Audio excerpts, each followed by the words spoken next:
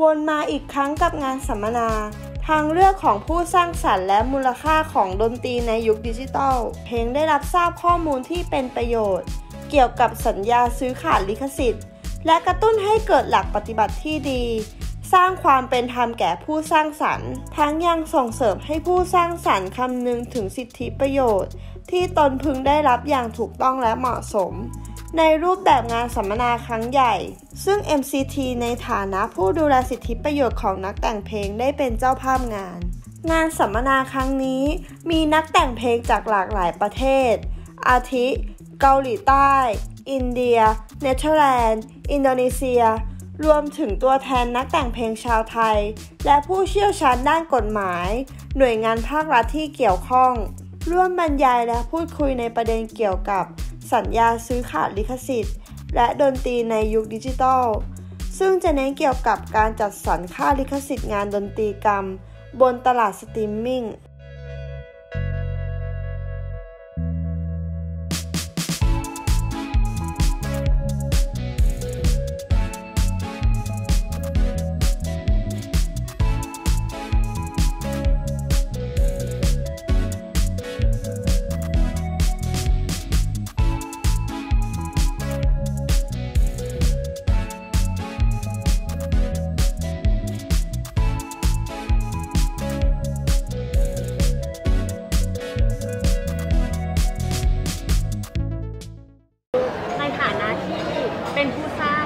ดนตรีอะค่ะ So, อยากให้พูดถึง as a ผลกระทบของการโดนละเมิดลิขสิทธิ์ค่ะ แล้วก็มีวิธีแก้ปัญหายังไง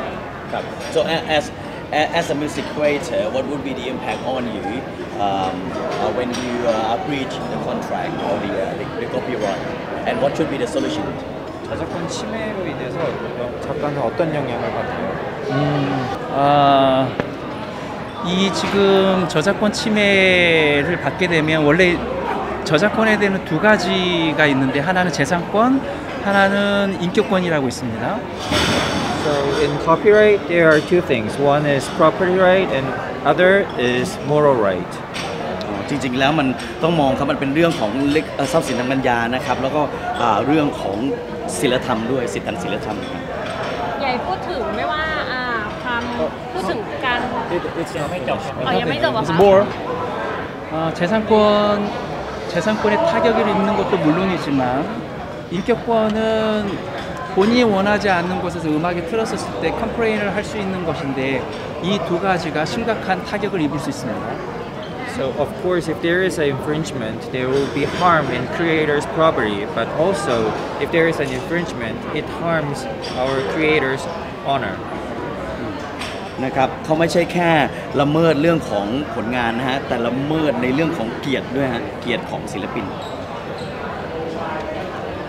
โอเคอะค่ะ อันนี้ถามคุณต้อนะคะ อยากให้พูดถึงความไม่เป็นธรรมของการ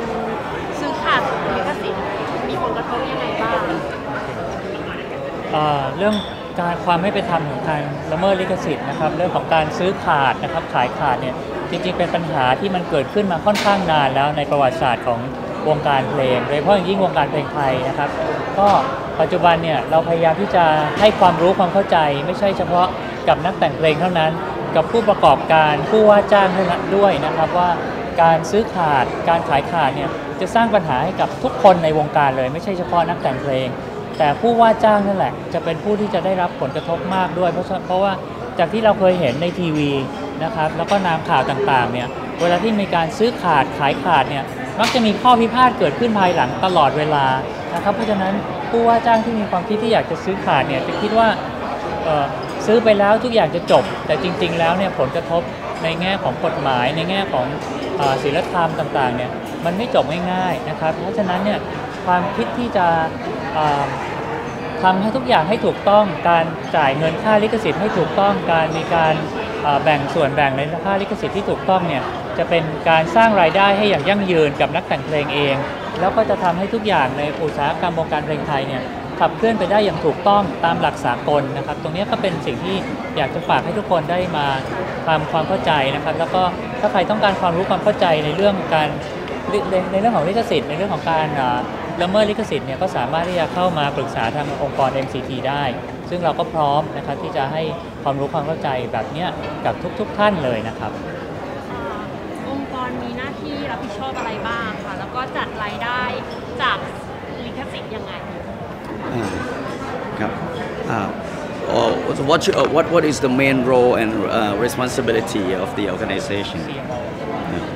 I think collective management organizations is representing the interests of creators. They are the bridge to users like the digital service providers and the creators. There are many creators around the world. They should be focusing on creations. So it's very important the collective management organization like MCT, they're really representing the interests of the creators to help them to get their fair remunerations to help them to continue to support their creations. ครับปกติแล้วเนี่ยฮะศิลปินเขาสร้างผลงานใช่ไหมเขาควรจะเป็นฝ่ายสร้างผลงานนะไม่ควรจะมาต้องกังวลในเรื่องเหล่านี้ ดังนั้น MCT นะฮะจึงเข้ามามีบทบาทครับในการที่ดูแลผลงานที่เขาสร้างขึ้นลิขสิทธิ์การใช้ต่างๆนะครับโดยเฉพาะในยุคปัจจุบันที่เป็นดิจิทัลแพลตฟอร์ม So CSAC is the international organizations. We represent uh, collective management organizations like MCT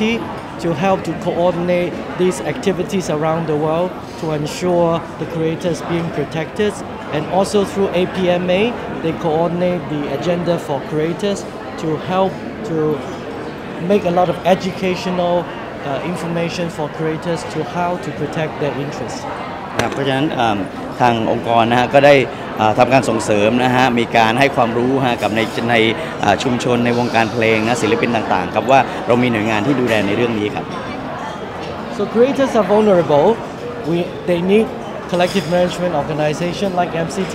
and international organization like C- CSEC and APMA. So hopefully all the creators and users support the activities what we're doing so that in terms to sustain the creative industry. ครับดังนั้นจึงควรจะเป็นความร่วมมือร่วมกันในองค์กรสำคัญต่างๆนะฮะอย่างเช่นนี่แหละครับ MAPA นะฮะ CSAC แล้วก็ MCT นะครับที่จะมาช่วยร่วมมือกันป้องกันเรื่องนี้ครับสุดท้าอยากให้ปิดท้ายพูดถึงการจัดการลิขสิทธิ์คือนักดนตรีจะเข้าถึงหรือว่าเข้าเข้าจะจัดการลิขสิทธิ์เพลงของเขาได้ยังไงบ้างครับ เรื่องของการจัดการลิขสิทธิ์นะครับสำหรับนักแต่งเพลงเนี่ยแน่นอนจะต้องมีองค์กรที่จะเข้ามาช่วยจัดการเรื่องลิขสิทธิ์ ซึ่งในแง่ของ CMO เนี่ยหรือองค์กรจัดเก็บลิขสิทธิ์อย่างที่เราเห็นเนี่ยนะครับวันนี้องค์กร CMO นำซึ่งเป็นส่วนหนึ่งขององค์กรนานาชาติที่เรียกว่า CSAC นะครับซึ่งเป็น CSAC เนี่ยแล้วก็เราเห็นอย่าง ทางซ้ายมือของผมเนี่ยเป็นองค์กรคมกล้าจากเกาหลีจากเกาหลีนะครับซึ่งเป็นองค์กรใหญ่มาก แล้วก็เป็นองค์กรที่เป็นตัวอย่างที่เป็นองค์กรที่จัดเก็บลิขสิทธิ์ได้อย่างสมบูรณ์ แล้วก็ได้อย่างถูกต้องแล้วก็ยังมีประสิทธิภาพประสบความสำเร็จในเรื่องของการจัดการจัดเก็บอย่างมาก องค์กรไทยเมืองไทยก็เหมือนกันนะครับองค์กร MCT เนี่ยเป็นส่วนหนึ่งขององค์กร CSAC เช่นเดียวกับคอมก้าเป็นต้นเนี่ยนะครับเราก็มีหน้าที่ที่จะ ดูแลนะครับสิทธิ์ต่างๆ ให้กับนักแต่งเพลงของไทยนะครับ เพราะฉะนั้นเนี่ยสิ่งที่สำคัญก็คือนักแต่งเพลงไทยเนี่ยก็จะต้องมีองค์กรอย่างเมืองไทยเนี่ยเรามีองค์กร MCT เนี่ยเป็นองค์กรที่จะดูแลนักแต่งเพลงทุก ๆ ท่านนะครับที่สามารถที่จะเข้ามาสมัครเป็นสมาชิกสำคัญที่สุดก็คือองค์กรของเราเนี่ยเป็นองค์กรไม่แสวงหากำไร นี่เป็นสิ่งที่สำคัญมากที่อยากจะจะจะ point out ที่ทุกคนไม่เข้าใจนะครับว่าองค์กรเราเนี่ย เป็นองค์กรที่จะดูแลสิทธิ์ต่างๆ ให้กับนักแต่งเพลง อย่างครบถ้วนบริบูรณ์ แล้วก็มีหลักสากลนะครับกำกับดูแลโดยองค์กร c s a c ซึ่งเป็นองค์กรนานาชาติ องค์กรนี้เป็นองค์กรที่จะสร้างประโยชน์ให้กับประเทศชาติ ให้กับนักแต่งเพลง ให้กับวงการเพลงได้อย่างมากเลยนะครับ ก็ขอเชิญทุกท่านนะครับ ใครที่สนใจต้องการที่จะมีความรู้ความเข้าใจเพิ่มเติมในเรื่องของลิขสิทธิ์เพลงเนี่ย ก็สามารถที่จะเข้ามาหาเราได้นะครับ ขอบคุณครับ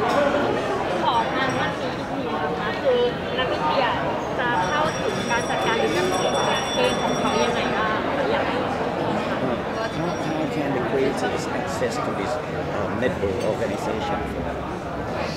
copyright collect management? 이 회원들은 어떻게 그 저작권 관리에 접근을 할 수가 있나요? 회원들이 어떻게? 네, 그러니까 쉽게 말하면 법인 게 네. 아. 작가들은 어떤 식으로 관리를 할 수가 있을지. 오케이. 어, 한국 같은 경우에는 신탁 관리 단체를 통해서 회원들이 어, 어, 본인이 입회하고 그리고 신탁 관리 단체에서 그들의 창작물을 관리하고 있습니다. So uh, in case of Korea, there are two CMOs, and usually most of the creators are member of the CMOs. So they come to CMO and they register as a member in each CMO, and CMO manages their copyright instead of our members. ครับปกติแล้วก็ผ่าน CMO นะครับก็คือศิลปินผู้สร้างสรรค์เนี่ยก็จะมาลงทะเบียนกับทาง CMO ครับและ CMO ก็จะอ่าติดต่อมาจากองค์กรที่ดูแลตรงนี้ครับ